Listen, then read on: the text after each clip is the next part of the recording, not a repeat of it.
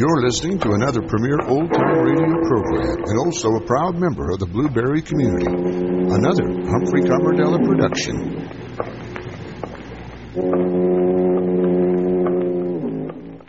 Out of the fog, out of the night, and into his American adventures comes Bulldog Drummond.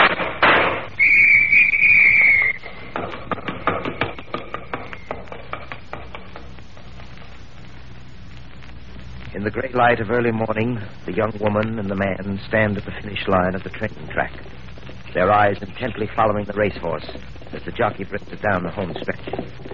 The young woman holds the stopwatch tensely in her hands. The horse rushes past the finish line, and the young woman snaps the control lever on the watch. The jockey slows his mount down and brings it back to the finish line at a slow trot. Easy, boy. Easy. How'd we do, Miss Peters? 147 and a half, Al. Nice riding, kid. Well, thanks, Mr. Connors. A mile and the 16th and 147 and a half. That's not bad, eh, Miss Peters? Not bad. That's darn good, Al. That's White Star's best time to date. Well, Mr. Connors, what do you think of it now? Miss Peters, I wouldn't believe it if I didn't see it myself. White Star was a complete washout last season as a two year old. You know his record. He didn't show in the money once.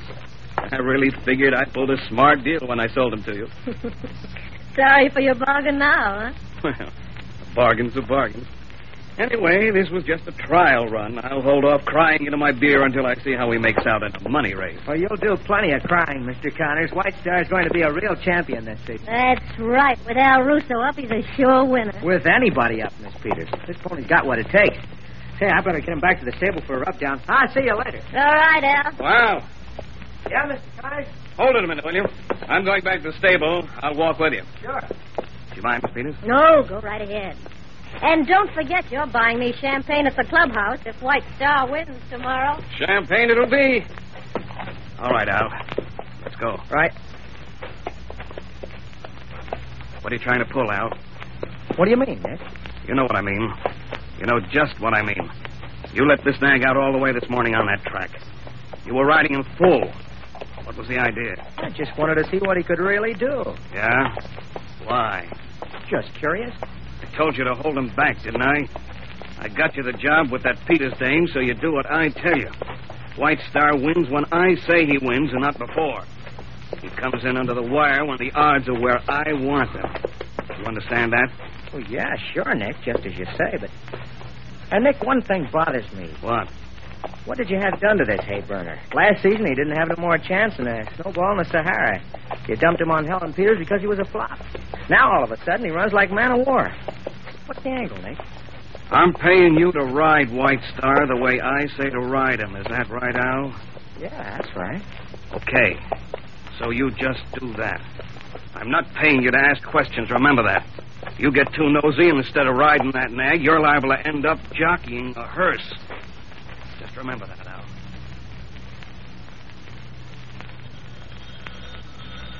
I'll get it, Denny. Very well, sir. Hello? Captain Drummond? Yes? I gotta talk to you. I'm in a jam. Who is this? Russo. My name's Al Russo. I'm jockeying out at the Westwood track. Just what sort of jam are you in, Mr. Russo? I'm riding White Star in the fourth race this afternoon. I'm out at the track now. I'll be going to the post in an hour, and I, I gotta talk to you before the race. Can you make it out here fast? You still haven't told me what this is all about. Well, you gotta come. I'll meet you in front of the grandstand, Section C. You got that? Section C. Mr. Russo, I hadn't planned to spend the afternoon out at the track, so if you expect me to alter my schedule, you'll have to be a bit more explicit. Just why do you want me to meet you? Well, look, I can't talk here. I think they spotted me coming into this booth. They? Who are they? The ones who are going to kill me. What? That's right, Captain Drummond. I've got to get protection. I can't go to the cops. You can save me if I talk to you before White Star goes to the post. I'll be waiting for you where I said. Now get out here as soon as you can. Hello, Mr. Russo. Hello. Hello. Denny. Denny, Yes, sir. What is it, sir? hurry, bring the car around front. We're going out to the Westwood racetrack. Westwood Racetrack, but I thought we There's were a going change in our plans, Denny. But, sir, why this sudden and new interest in the horses? It's not the horses. It's my usual and old interest, murder. Now hurry, get the car. I'll be out in a moment.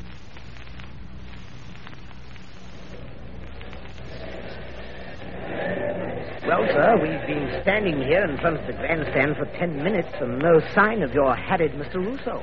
You know what, sir? What, Denny? This may be nothing more than some sort of practical joke. Maybe there is no such person as Al Russo. There's an Al Russo, all right. How do you know, sir? I checked the racing page in the newspaper before we came out here. Just as he told me over the phone, he's scheduled to ride White Star in the fourth race. Well, if he's going to show up here, he'd better make it soon. The fourth race will begin in a few moments. Come on, Denny. Where are we going, sir? To the paddock. Russo should be there. Maybe he could. Pardon me. Yes? You're uh, Captain Drummond. Yes? Uh, What- sir, hadn't we better hurry? It's almost post time. Please, I must talk to you, Captain Drummond. Uh, sorry, miss. Perhaps later. Just. Al sent me. Al Russo? Yes. Where is he? He couldn't meet you here. Well, where is he? He was afraid to come out into the open. And just who are you? I'm Al's wife, Captain Drummond. He's in trouble. So he said over the phone. Well, he's got to talk to you. He wouldn't tell me what it was, but I know it's something terrible. You will help him, won't you? I'll do everything I can. Thank you, thank you. Now, where can I speak to your husband, Mrs. Russo? Over there, at that line of telephone booths under the grandstand. He's waiting for you. He's in the third booth. Al said I should wait out here and see if they follow you to him. All right, Mrs. Russo. We'll be back to talk to you after I see your husband. Yes, I'll be right here. Come along, Denny. I'm with you, sir.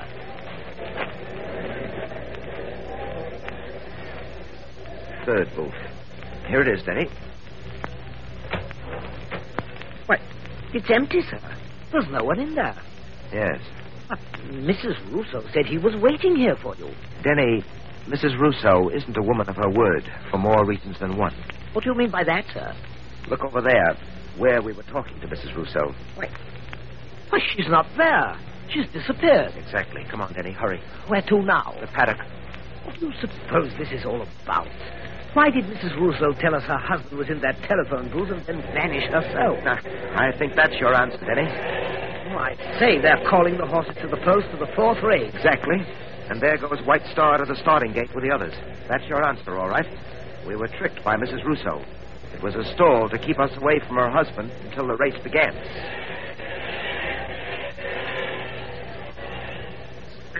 Gilson at Westwood bringing you a description of the fourth race, a $7,000 purse handicap.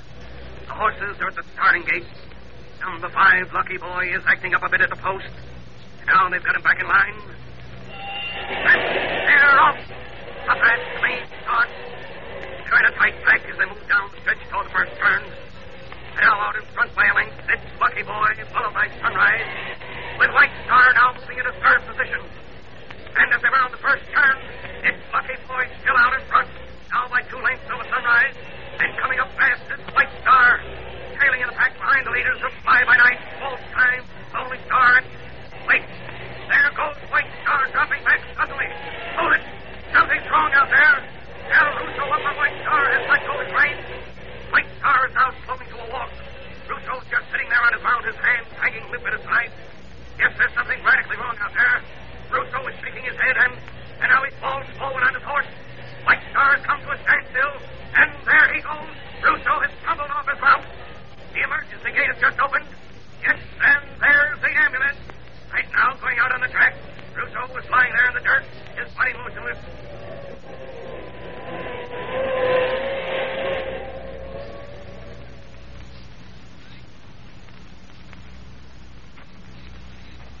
Drummond, Yes, Denny? uh, Miss Peters and her stable hand, Dave Turner, are outside. All right. Show Miss Peters in first. Yes, sir. This way, Miss Peters. Captain Drummond, I'm Helen Peters. How do you do? I've just learned from the track officials that my jockey, Al Russo, was poisoned. Yes, that's what happened. I've been asked to handle the investigation. I don't know whether you were informed of the matter, but Russo called me earlier this afternoon. Al called you. Yes. But why? He wanted me to help save his life. Miss Peters, what do you know about Al Russo? Nothing except that he was a good jockey, Captain Drummond. I Don't understand. Why should anyone want to murder Al? I was about to ask you the same question. As I know he didn't have any enemies. Uh, Miss Peters, uh, according to Russo's wife, His wife. yes, a young lady about your height, blonde. I didn't know Al was married. He didn't tell me. Denny, I doubt seriously if the young woman was Russo's wife. While you went for Miss Peters, I checked with the other jockeys here. As far as they knew, Russo was single. That mysterious woman was just playing her part in the murder game. Captain Drummond, Yes, Miss Peters? I was with Al in the paddock when he mounted White Star. He seemed perfectly well then, He was at that point. but they said he was poisoned. That's correct. How? No one was near him after he left the paddock for the starting gate. Russo's death was caused by a strong and swift acting poison. That poison was injected into his system. Injected. Denny, let me have that saddle. Yes, sir. The medical examiner found a puncture on the inside of Russo's right thigh. Here's the saddle, sir. Hold it up a bit, Denny, so Miss Peters can see. Right, sir. Miss Peters, you'll notice this sticking out of the right side of White Star's saddle. It's a knife. The murder weapon. There's a hypodermic sewed on the inside of the saddle there. The hypodermic contains the poison. Who could have put that into the saddle? I haven't the slightest idea. Miss Peters, when is White Star scheduled to race again? Next week at Overton Park, I've entered him in the Wilton Handicap. But with Al gone, I've no jockey. Al could handle White Star. He got more out of him than any other rider. Just now, Miss Peters, I'm not concerned with White Star winning. I just want to make sure that he runs at Overton Park next week. It may be our only chance to catch a killer.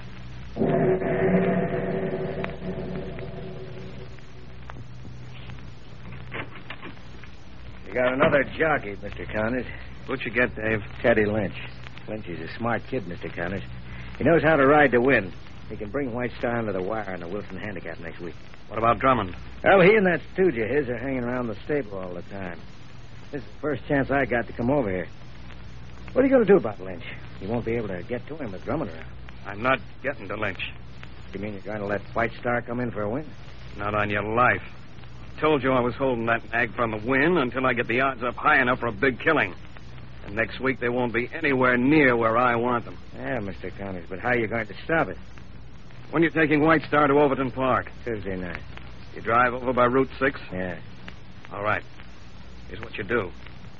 Ten miles outside of town, there's an intersection. Halsey Corners, it's called. I know the place. Okay. You turn right onto 15A and go along for seven miles. Then you come to a sign that says The Yokes. It's a farm a little off the main road. The yoke. Right. I'll meet you there. Everything will be set for the nag. Pulling a reverse, eh, Mr. Connors? What do you think? I got too much invested to let White Star win yet. Got everything straight, Dave? Sure, but what about Drummond? What about him? Maybe he'll take it into his head to follow the truck. If he does, it'll be the last following he'll ever do. Don't worry about Drummond. I'll have everything set for him, too.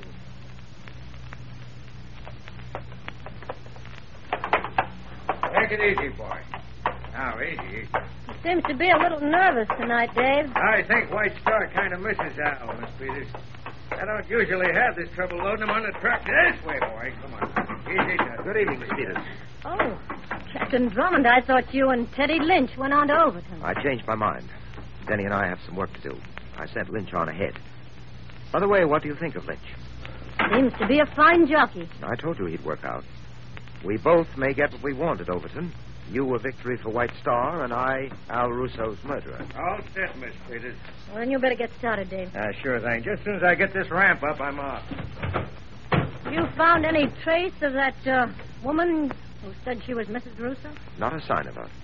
But I have an idea she'll show up sooner or later. All ready to get underway, Miss Peters. All right, Dave. I'll see you tomorrow morning at Overton. Uh, good night. Good night.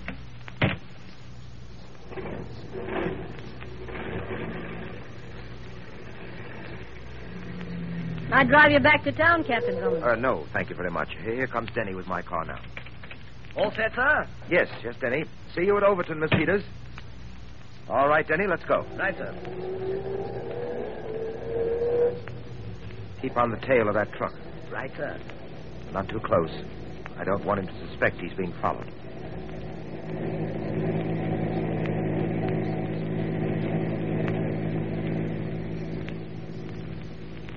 Well, so far he's sticking to the route, Captain Drummond. Yes, but it's still quite a way to Overton. What makes you think something surprising may happen? In the absence of clues, Denny, I have to fall back on hunches. Well, if you ask me, I think we're out on a wild uh, horse chase, if you'll pardon the pun. Uh, slow down, Denny. Hmm? He's turning off the road. I say, perhaps you were right about that fellow, Dave, sir. That's not the way to Overton. Step on it, Denny. Get up to that intersection. Right. Now, take that turn fast. I don't want to lose track of that truck. Hold on, sir. Here we go.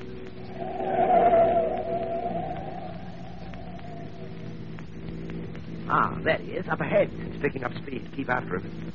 Wonder where he's taking White Star.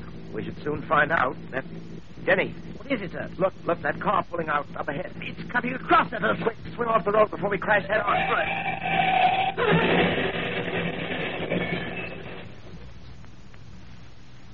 Denny. Denny. Oh, I, I'm all right, sir. It's just my arm. We're certainly lucky. We might have been killed. That apparently was their intention. You mean that wasn't an accident? Not by a long shot. That car was evidently waiting for us to come along. Someone had made preparations in the event the truck carrying White Star was tailed. At any rate, Denny, one of my hunches has been proven correct. No doubt about it, we were on the right track. Yes, but now, unfortunately, sir, we've been derailed. Only temporarily, Denny. Only temporarily. But what about the truck? We've lost it. Oh, I'm sure White Star will turn up at Overton safe and sound. Yes, but what about us? Well, first we get in touch with the local police and arrange for our sudden passing. Sudden passing? What do you mean, sir? We're dead, Denny. Dead? That's the way the newspapers will carry the story. Captain Hugh Drummond and Denny killed in auto crash. How does that sound to you? Frightful. What's the idea? I want our would-be assailants to think they were successful. It will make our work more simple. So, Denny, for the time being, we're dead. Very well, sir. I'm dead. Now, would you mind telling me just what work we corpses are to do?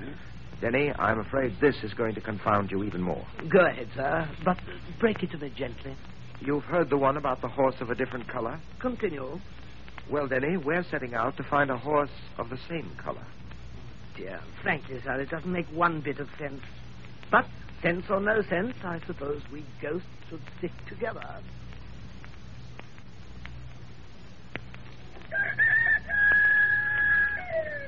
All right. We'll try that barn first. Really, Captain Drummond, we're taking quite a gamble sneaking about farms in this fashion. We're liable to run up against a farmer who'll take us for trespassers and greet us with a load of buckshot. I'm afraid we'll just have to chance that Very well, sir. But how long are we going to keep this prowling up? until I find what we're looking for. I'm sure it's some place in this area. All right, open that door and we'll see what this barn has to offer. All right, come on. Close the door. Yes, sir. The horse stalls are over there. Let's go. Denny, What is it, sir? that horse in the end stall. Sir. Come on. Why, Captain Drummond, this horse, he has a white marking on his head, the same marking. Yes, it's White Star, all right, Denny. Oh, but, but I still don't understand. You said when you checked yesterday morning that White Star had arrived at Overton. So he did. Well, then who is this horse? White Star. Oh, now, really, sir, nothing can be in two different places at the same time. Would you mind telling me what this is all about? All right, Denny, all right. Here's the way I see it. This White Star we're looking at is a ringer for the White Star at Overton. Ringer? A ringer is a sort of stand-in, a replacement to be used at an arranged time. But why? Well, Denny, in horse racing, there's a very good reason money. The two White Stars are identical, probably, in all factors but one speed. That's where the money angle is put to work. You remember, we checked on White Star's past record. Yes, it was quite undistinguished. Exactly. No wins. The odds against White Star coming in first are great. Oh, I see, sir. If White Star wins, the one who bets on him will be richly rewarded. That's right, Denny. And the chances are that one of the White Stars stands a very good chance of winning. I say, Captain Drummond, do you suppose Miss Peters knows about this? From the way things look, it doesn't appear so. White Star was sold to her last season by Nick Connors. In the past, Connors' dealings in horseflesh have been on the shady side. Well, then perhaps Connors had something to do with Al Russo's murder. It's altogether likely, Denny. But we'll have to prove that by drawing Connors out. How do you expect to accomplish that, sir? By seeing just how interested he is in the way White Star runs. Denny, we're getting this horse out of here. And then what? You and I are taking him to Overton to make an unauthorized switch in horses. Then we'll wait until tomorrow's race and see if we can encircle the murderers with our ringer.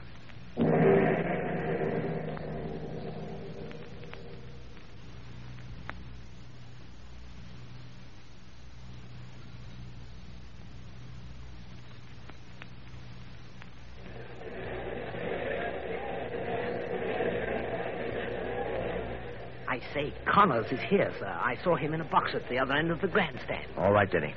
Now, we'd better remain out of sight until after the race. I uh, I saw Miss Peter's stable hand, Dave, too.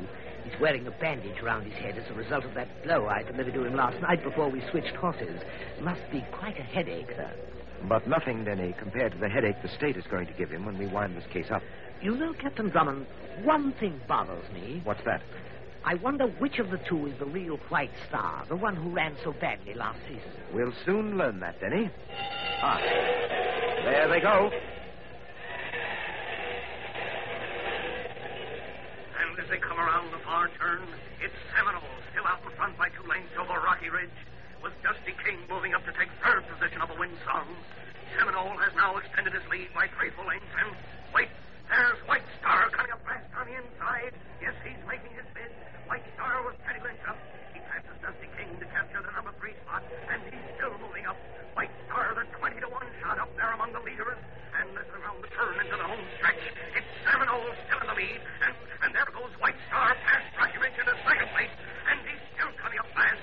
Jockey Teddy Lynch is pushing his mount, pushing, pushing, and now it's White Star challenging Seminole, and he's up there. Seminole and White Star neck and neck. White Star and Seminole as they head for the finish line, and here they come. And it's White Star, White Star the winner.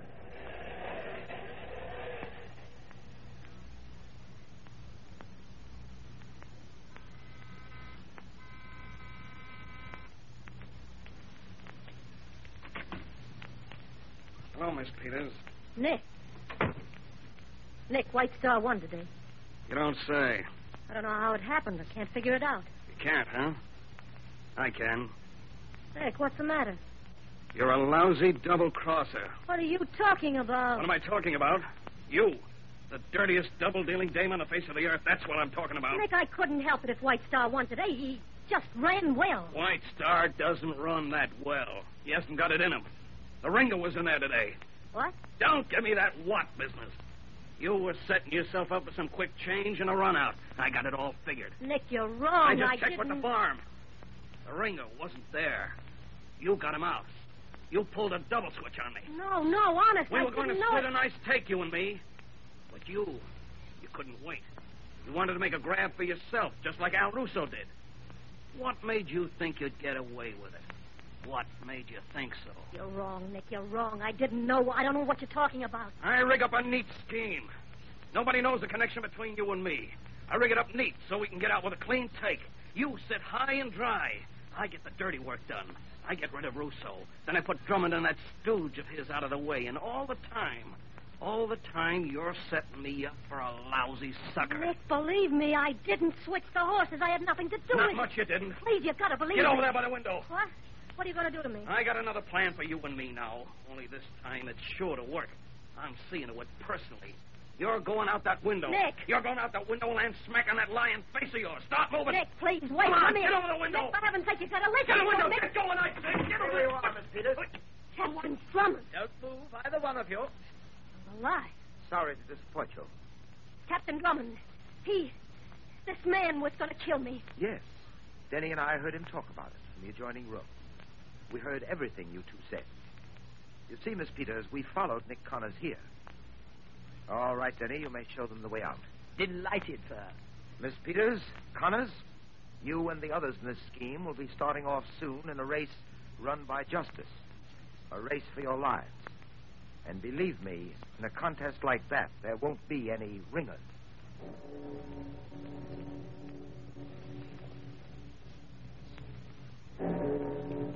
I'll be back in a moment to tell you about next week's story.